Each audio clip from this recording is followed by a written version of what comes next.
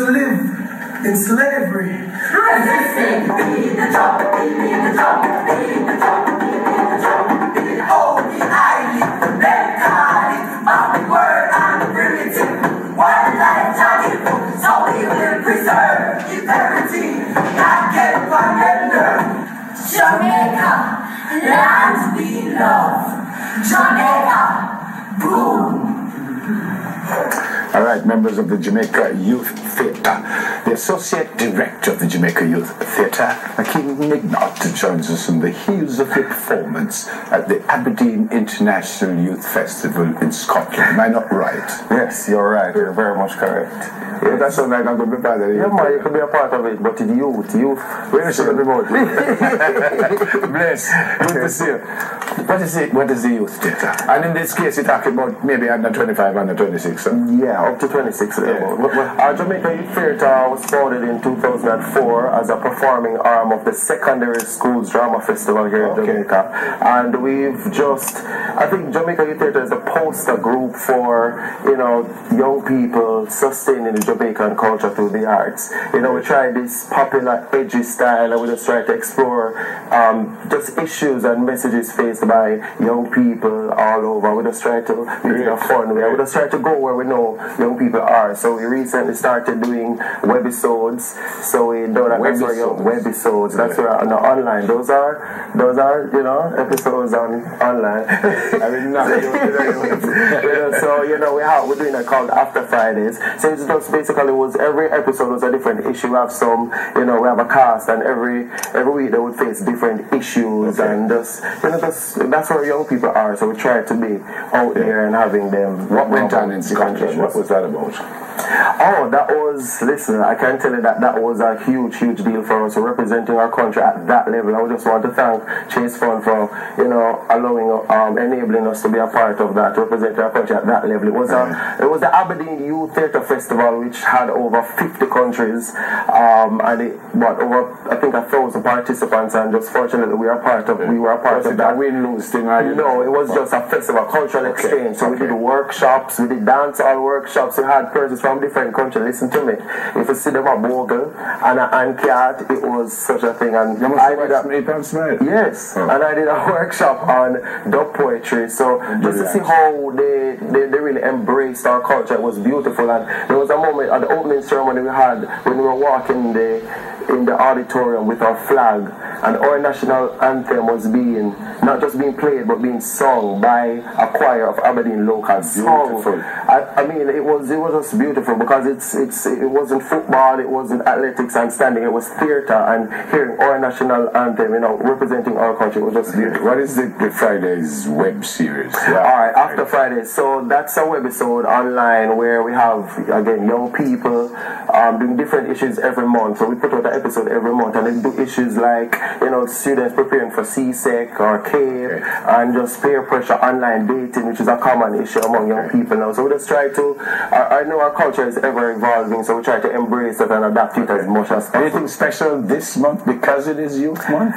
Yes, uh, for uh, you know, this is a good thing that this month we have the Secondary Schools Drama Festival. It's November the twentieth um, at the Little Theatre, and we have we're taking in application forms from says high school students. They put on plays and they come and at the end of it's for a week, and at the end of it we give out awards: best production, best actor, best actress, best director. So Okay. yeah, and they can they got the chance of becoming a part of Jamaica Youth Theatre. We, we have some of some of your friends here, but what's the, the next thing that's coming up for the youth? Theatre? big, big, big things. You know, Jamaica Youth Theatre, we try to represent our country locally, regionally, and internationally. So we're always looking for opportunities or a chance to, to do that. Any, you know, whether it's online, entering competition, videos, or putting out production. So we do that, you know. We just try to sustain the Jamaican culture as much as possible using our art, you know, music, Fantastic. dance, and drama. All right, fantastic. Well, let me now invite Brianna, Melissa, and Saskia um, to, to, to do some stuff. So they're Text Me Back, it's called. Here they are now.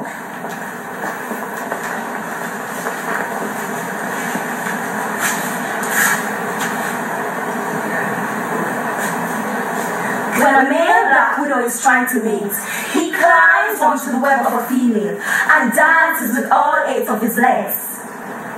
If she accepts the invitation, he inseminates her.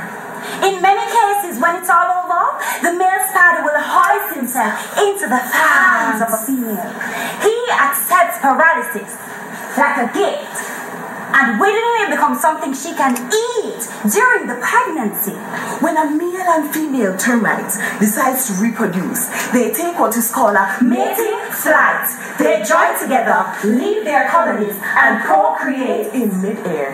After fertilization, they land and break their own wings, making it impossible to ever fly with someone else again. Insects are finding eternal love to the point of pain or even death. But what's crazy is you can't even text me back. I know you saw the messages. It said you read it. The girl that's popped up, you are clearly going to reply. But 27 minutes later, nothing. You just posted a Facebook status saying you're bored. Tweeting about how your phone's dry and nobody hits you up. What do you mean? I just called you. Let me guess. Let me guess. Let me guess. Your battery died. You fell asleep. You dropped your phone in the toilet. Maybe you got hit by a car. Your phone was crushed by rush hour traffic. You took an unexpected trip out of the country and forgot to switch service plans. I know what it is. You were kidnapped by a group of evil ninjas and held for hostage. Put up for auction. Put up, put up for auction, put up for auction like Olivia Pope. sold to a group of civilized gorillas, and now they're raising you as one of their own. Let me know, because I can't think of too many other reasons why you can't respond. I'm searching for searching for affection. But you treat me as if I'm not worth it. I'm searching for affection. But you treat me as if I'm not worth it either. But like I'm not worth your data. In this society, we manipulate gadgets into handheld heartbeats and have become emotionally dependent on technology We gauge your importance based on the amount of notifications on our home screens. There's only enough room in cyberspace for our insecurity. We find love in the corner of QWERTY keyboards. search for acceptance in direct messages and, And mistake five bars of 4G signal for true connection. What is love? It cannot manually adjust its screen brightness. What is joy? If it doesn't respond within a minute. What is validation? If you cannot fit it in your hand or be refreshed with the swipe of a finger. If we put as much effort into checking in with ourselves as we do with our notifications, we could probably figure out the roots of our loneliness. A text back will not translate into self-worth. A double tap on a picture doesn't mean anything if you don't like what you see. A FaceTime call won't make it easier for you to face yourself. Don't be afraid to lose signal. Don't be afraid of an empty screen. Don't be afraid of yourself. Turn off your notifications. Put your phone on silent. Turn off the Wi-Fi connection. You are all you ever needed. Can you hear it now? Can you feel it now? Good. Awesome. Brianna Medicine Saskia Cantankerous proper. That was brilliant. That was brilliant. Members of the, the youth theatre. All right, go for a break. Soon come. No man, quite cantankerous. You like the person?